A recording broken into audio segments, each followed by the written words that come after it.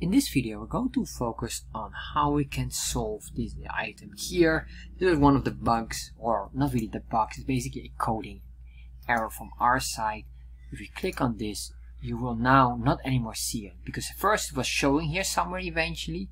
Now you will notice that even if we make it smaller, you will not see this issue anymore. So this is being solved. So let's start to look how to do this. So let's start to fix the item that we have in here, where we have this like that but as well here that needs to be removed.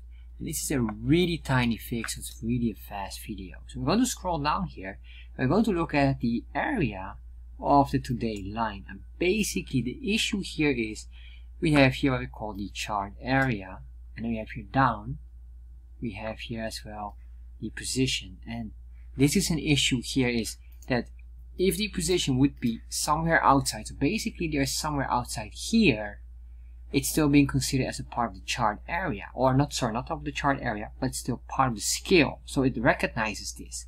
So for example, if I would do here new date, well this is the new date already, you can see here that's probably somewhere here must be whatever today is, which is 26 October. So what I want to do then is to make sure that if the value is outside of the chart area. In that case don't draw at all. Alright so to do this we have to go all the way here up because basically this entire area should be covered in here.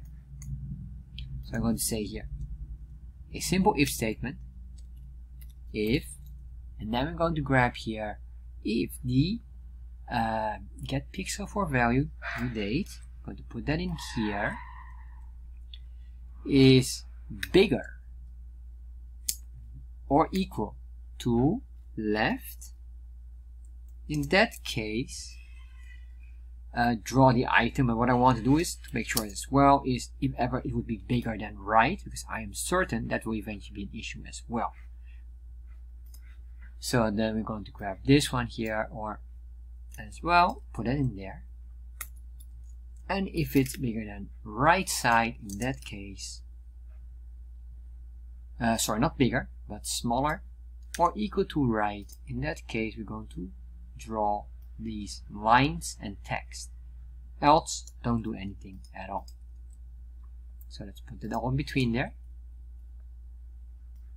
And uh, save this. Let's see. Alright now I want to say in November and I'm going to reduce the size of the chart so we should be able to see and you can see although this is slightly overlapping so that's probably eventually something we need to fix or we have to just adjust the pixel formation on that one or how many pixels this is. But that's that's a bit more complicated. I will avoid that one for now. However this all works and I think this looks nice as well. So this is a very short video. Next video we're going to focus on when we start to have this here we might want to add up for example, a name and a new task in here. And that will be fun as well. We can put in a task with a specific date. So we could show them, add up a new task here, and then give it a starting and ending date as well.